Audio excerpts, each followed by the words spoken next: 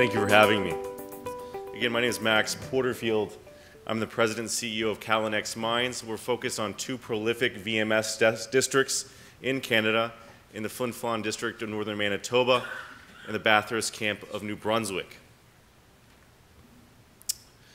To understand the Callinex today, it really pays a, a, moment to look at the history of the company that dates back to 1927 when I IPO'd with a focus on exploring four VMS deposits in the Flin Flon Greenstone Belt in northern Manitoba. Throughout the company's history, it's had a number of uh, economic discoveries uh, found by the company or other people exploring on the company. Most notably, Hudbay discovered the 777 mine, which has a two and a half year mine life today uh, that went into production in 2004. In 2011, the company was split into two entities. Callinex was spun out of that and contains the exploration portfolio in the company at the time. And then I joined the company in mid 2014 and refocused the company because uh, at the time it was focused uh, on graphite. Uh, we refocused it to explore for these high grade zinc, copper, gold, and silver VMS deposits in Flin Flon. And then mid last year, at the bottom of the zinc cycle, we used an opportunity to expand the company's project portfolio um, by moving into the Bathurst camp, again with zinc dominant VMS deposits. Quickly looking at our capital structure, we've got 77 million shares outstanding, $8 million in cash. Trade on uh, average uh, today, it's increased about 400,000 shares per day, and we've got roughly a $28 million market cap. Uh, pretty nice uh, supportive institutional shareholders, the largest of which is Resource Capital Funds that run, uh, own roughly 12.5%. Uh, they're a private equity fund based out of Denver and Perth. And then we also most recently, in our 50 cent financing that we completed in November of last year, brought on Rick Rule and the rest of the uh, Sprott group uh, through that placement. And then we'll kind of go ahead and, and, and uh, go through the share price performance uh, where you can see here we had a rather dramatic increase on a discovery hole that we announced uh, in roughly October of last year and then with some recent step backs uh, just immediately after we pulled off of that. So I think it's a great opportunity to reevaluate the, the company in terms of looking at adding to your position or, or starting a new one. Uh, I don't have a technical background. My background focused on the capital markets. With that being said, we had a complete rebuild of the technical team uh, once we joined the company and refocused back to exploring for these uh, VMS deposits. Our chairman, Mike Muzylowski, is a member of the Canadian Mining Hall of Fame for the discovery of 13 mines 12 of them being VMS in the Flin Flon Greenstone Belt, the largest of which being the Trout Lake Mine they discovered in 1982. Our chief geologist, Jim Pickell, uh, won the Bill Dennis Award for the discovery of the 777 mine, and then our geophysicist, Alan Vowles, won that same award for the Lalor Lake Mine, which is a very high-grade, large uh, zinc gold mine uh, in the Flin Flon Belt uh, over in the Snow Lake area. So collectively, our technical team has been associated with the discovery of three of the four largest mines in the Flin Flon Greenstone Belt's history, as well as numerous uh, others uh, worldwide. You might, uh, for those that are uneducated in terms of what is a VMS deposits, it's uh, short for volcanogenic massive sulfide deposits. The reason why we like them is because they're high grade, they're polymetallic, and they occur in clusters, making up known mining jurisdictions. In, in the case that we're uh, exploring in the, uh, the Flin Flon and Bathurst camp, uh, quite simply, you can see here, and we'll kind of go over this in an area, but below this is where you'll see the alteration zone. That's going to come up in a moment. But it, they occurred uh, hundreds of millions of years ago by um, ocean water being sucked in underground in this volcanic source, uh, where it was superheated and then brought to surface uh, and deposited there. Uh, and then over time, again, uh, was left there for us to find. So in terms of where our exploration focus and our most recent discovery took place is in our property, our Pine Bay project in the Flin Flon Greenstone Belt. As a quick overview here, you can see the town of Flin Flon uh, up to the left here. That's where the, the 777 mine, again, has a two and a half year mine life. Uh, and they've been very public in the fact that they have not been able to extend life of mine or find a new discovery to feed into their facilities. Uh, again, the, the, the blue, blue claims are Hudbay's claims. Our claims you can see in red. Uh, we control 100 square kilometers of ground in the Flin Flon district in the immediate vicinity of Flin Flon.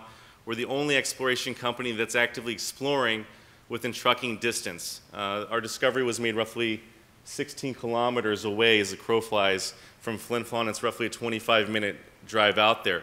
Those black dots are historic mines with the exception of the 777 mine and then the gold dots are deposits on our project portfolio um, as well. And you can see that we've got road and uh, power access on site. The focus of our exploration to date has been at the Pine Bay project. We're going to include a, a new project we recently acquired into that exploration pipeline later this year.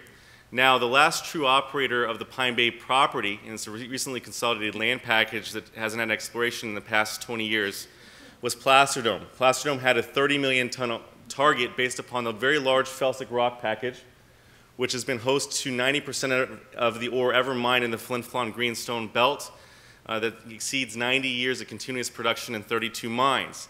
That coupled with a very large alteration zone, at surface that's 700 by 1100 meters wide. Now you remember the alteration zone typically occurs underneath that volcanic activity is where you find it. In this instance, everything's been inverted, which would have been your vector to the, at depth to find that 30 million ton uh, target. With that being said, we've been uh, numerous exploration campaigns there we uh, made the big discovery by actually extending a historic Placer Dome hole by 38 meters. That's where we hit 10.3 meters, grading 13.1% zinc equivalent. That's 6% zinc, 0.7% copper, 60 gram per ton silver, uh, 1.8 gram per ton gold, and 0.4% uh, lead. Now leads us to the step outs and a little bit of that recent um, pullback we had in the stock you saw. We did these uh, very large and aggressive step outs that were 300 meters below the, the discovery hole. Uh, keep in mind that the average strike length for a mine in the Flin Flon belt is 250 meters. We probed these holes looking for geophysics, and keeping in mind, though, that the discovery hole that we hit when we extended Placer Dome's hole, hole was uh, very lowly conductive. Uh, that's because there's not any pyrite in the mineralization that we've been encountering. So with that being said, when we probed hole 17 and 9502 as well as 19 here, we didn't see any big uh, geophysical conductor on either side of the hole. Uh, however, the lithogeochemistry, as you can see, which is in this bright red, which essentially is alteration, highly altered rock, was really vectoring us as well to this area. And that's where we just announced on Monday of this week uh, where we hit 2.6 meters of 3% copper. That was a 180 meter step out, very large step out along strike and 70 meters below. Again, we probed that with a geophysical probe, and it is uh, not showing up as conductive at all. You can't see it with the in-hole uh, um, uh, probe. What that has led us to uh, have, creates great opportunity because now we have a 300 meter by 600 meter exploration corridor that we're going to follow up on and explore later in uh, late July or early August of this year, as well as that Big Island property that I mentioned to you. Jumping over to Bathurst Camp, we've got the Nash Creek project. It's a 10.1 million ton resource grading 3.6% zinc equivalent. Where we're exploring deep, uh, deeper for underground mines in northern Manitoba. This starts right near surface, is an open pitable operation. Uh, preliminary testing using dense media separation shows a head grade uh, between uh, 6 to 7% zinc which is a very well-known technology. So with that being said, uh, again, it's got great recovery from a metallurgical standpoint with over 90% recovery for zinc uh, and healthy recoveries for lead as well. Uh, we're going to be testing over 20 targets. They're going to be IP, low, low resistivity, as well as soil anomaly targets to extend the known resource with the goal of adding 3 to 5 million tons and then publishing a PEA by year end. Now, jumping over to the Superjack project, uh, and again, both of these projects have excellent infrastructure. Nash Creek's right along a highway. Um, again, there's a, a, lead smelter right there and, and a power adjacent uh, as well. Now, Superjack's within 15 kilometers away from the Brunswick number 12 mine. That's a super giant uh, zinc mine that was operated by Glencore that recently shut down. It's also 90 kilometers away from Trevali's uh, Caribou mine I'm sorry, 50 kilometers. Uh, Nash Creek is 90 kilometers, so well within trucking distance to that facility.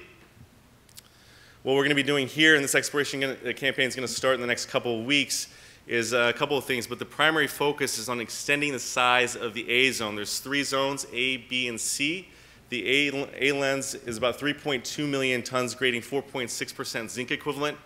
Wide open uh, at depth along a 250 meter strike length where they're hitting increasing grades and widths uh, as you can see that's demonstrated there. So with that being said, again, uh, Callinex is focused on zinc-rich VMS deposits in two prolific Canadian mining jurisdictions in Flin Flon and Bathurst. We've got a technical team associated with numerous world-class discoveries and accredited with three of the four largest mines ever discovered in the Flin Flon Greenstone Belt. We're well capitalized with $8 million in cash to move forward these properties. Uh, so again, I encourage you to look us up at callinex.ca, uh, and we're also traded on the TSX Venture under the ticker CNX in the United States, OTCQX with the ticker CLLXF.